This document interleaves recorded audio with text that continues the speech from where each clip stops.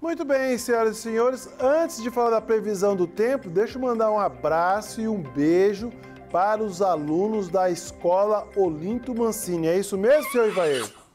É isso mesmo. Muito bem. Então, eles vieram aqui na sexta-feira conhecer os estúdios. Ó, beijo do tio Israel. Agora sim, vamos falar da previsão do tempo. Amanheceu um clima agradável, nublado, hum, tempo bom para quem pode dormir até mais tarde. Para quem pode.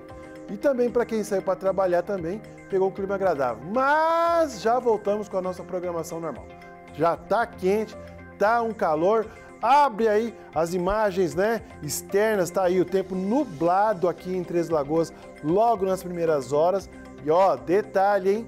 Tem previsão de chuva assim para olha o Cristo surgindo, trazendo a paz. Volta, filho, volta, porque esse povo tá precisando do Senhor aqui, tá?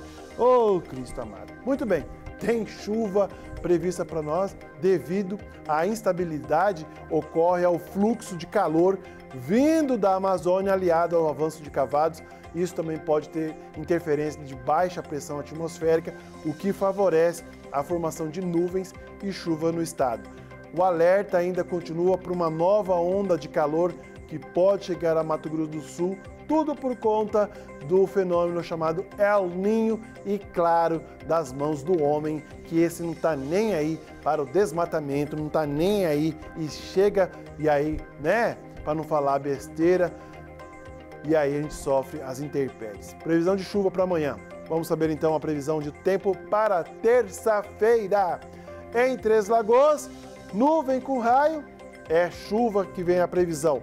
A mínima 24, máxima de 34 graus. Em Brasilândia, mesmo cenário. Chuva, mínimas de 23, máxima de 33 graus. Em Água Clara não muda nada, com a máxima de 33 graus. Virando a página, chegamos até a Aparecida do Taboado. Por lá é a única cidade que vai permanecer nublado, mínima de 24 temperatura máxima de 34, nublado, abafado e quente é a previsão para Aparecido Taboado. Em Paranaíba temos chuva com a mínima de 23, máxima de 33 e Inocência fechando aí 22 graus é a mínima, 33 é a máxima.